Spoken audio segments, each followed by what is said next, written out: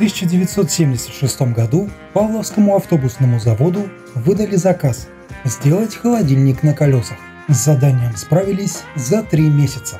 В сентябре того же года авторефрижератор был готов. Внешняя машина отличалась от 672 глухими панелями кузова и четырьмя распашными дверями, не считая водительской. Две двери находилось справа, а по одной располагалась слева и сзади.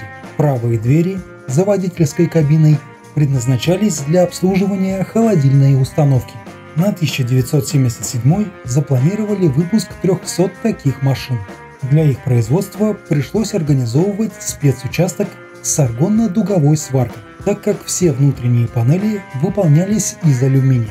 В качестве термоизоляции кузова использовали уже проверенные материалы, применявшиеся на производстве северных автобусов. Если на первых рефрижераторах управление холодильной установкой водитель мог осуществлять только на стоянках, непосредственно в кузове, то вскоре 3742 оборудовали дистанционным управлением холодильника с рабочего места водителя.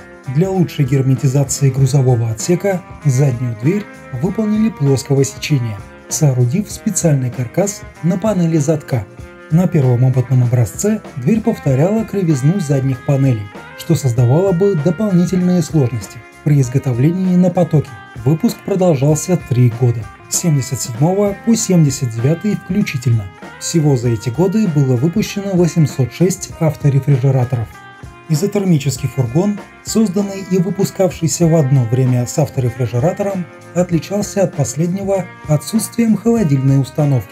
По этой причине в конструкции кузова было меньше дверей. Объем кузова увеличился с 12 до 16 кубов, а грузоподъемность возросла на 700 кг. Назначение машин было схожим. Они развозили скоропортящиеся продукты по торговым точкам, детским учреждениям и учреждениям здравоохранения. Как и когда на задней двери автобусов-холодильников появилось изображение пары пингвинов, существует по меньшей мере несколько анекдотов. Если вы их знаете, то обязательно напишите в комментариях. Выпуск изотармов составлял примерно одну четвертую от выпуска авторефрижераторов. До 80-го года народное хозяйство получило 254 такие машины. В начале 80-х производство изотермов и рефов на ПАЗе было полностью прекращено. В дальнейшем их выпуском занимался Бакинский завод спецавтомобилей. В конце 80-х фургоны там были модернизированы в сторону упрощения форм кузова и уменьшения металлоемкости при повышении грузоподъемности на 500 кг.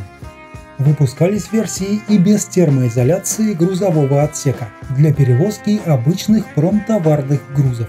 Выпуск в Баку продолжался до 1993 года, а после прекращения производства рефрижераторов и изотермов из машинокомплектов, оставшихся на заводе, была собрана партия пассажирских автобусов, которые немного отличались между собой –